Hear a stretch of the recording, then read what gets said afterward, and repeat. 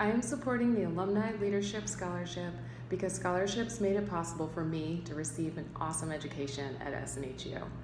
Over the last 13 years, I've worked with SNHU campus and online students to help them discover their talents through clubs, events, and leadership programs.